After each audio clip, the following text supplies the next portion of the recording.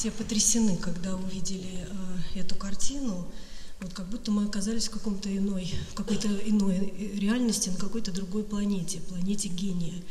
И э, что очень ценно, вот об этой планете гения рассказано абсолютно гениальным режиссерским языком, что очень важно, потому что это самое сложное рассказать о художнике языком художника. Вот. И большое спасибо, это просто потрясающая картина, которая стоит каким-то отдельным номером, и очень сложно судить.